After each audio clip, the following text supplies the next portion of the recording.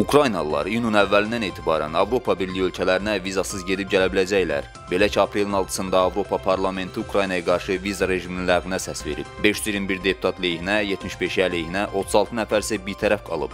Azadlıq Radiosunun məlumatına görə müzakirələr vaxtı bir sıra deputatlar qəti şəkildə buna qarşı çıxıb. Xüsusilə Fransa Milli Cəbhə Partiyasının nümayəndəsi Jill Leberton. Həmçinin deputatlar ölkədəki korrupsiya və Donbasdakı müharibədən narahatlıq bildiriblər. Qərar aprelin 25-dən sonra Avropa Birliyinin jurnalında dərc edildikdən etibarən qüvvəyə minəcək. Vizasız rejim isə iyunun əvvəllərindən qüvvəyə minə bilər. Bunadək sənədi Avropa Şurası təsdiqləməlidir. Qeyd edək ki, Ukrayna prezidenti Petro Poroshenko bir gün əvvəl qərarın qəbul ediləcəyinə ümidlə yanaşdığını bildirmişdi.